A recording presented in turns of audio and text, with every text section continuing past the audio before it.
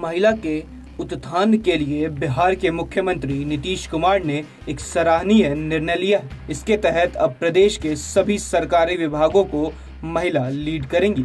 दरअसल, बिहार सरकार अपने इस कार्यकाल में सात निश्चय भाग दो को लेकर आ रही है, जिसके चलते सशक्त महिला, सक्षम महिला योजना को धरातल पर लाने की तैयारी की जा रही है। उनके इस फैसले से राज्य के अलग अलग कार्यालयों में सभी पदों पर महिला की हिस्सेदारी बढ़ेगी।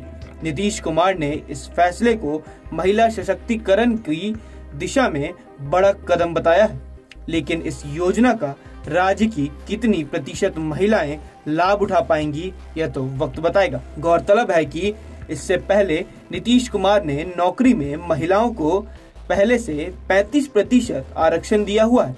इसके बावजूद भी बिहार सरकार के अधीन रथ कार्यालयों में भी प्रधान के रूप में महिला पदाधिकारी की संख्या काफ़ी कम है, जिससे आरक्षण के प्रविधानों का मौलिक उद्देश्य पूरा नहीं हो पा रहा है।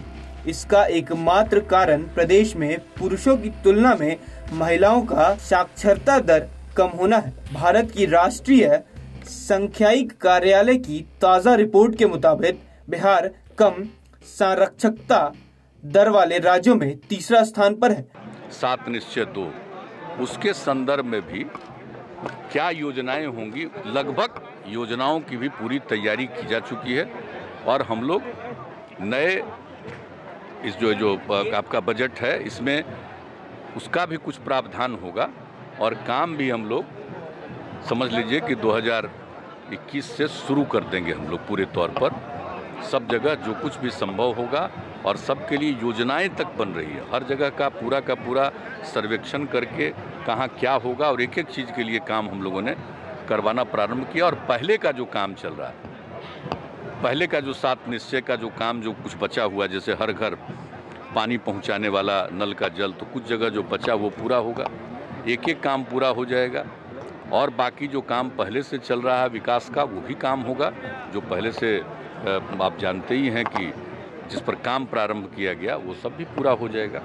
और इसके अलावा जल जीवन हरियाली अभियान के अंतर्गत जो हम लोगों ने योजनाएँ बनाई है, उन सब योजनाओं पर भी अमल चल रहा है, उन सब चीज़ों को भी सत्तर दशमलव नौ फ़ीसदी समग्र संरक्षता दर से बिहार राष्ट्रीय औसत में सतहत्तर दशमलव सात फ़ीसदी पर है। महिलाओं की शिक्षा के प्रति जागरूकता बहुत कम है। ऐसे में इन्हें इसका खामियाजा भुगतना पड़ता है।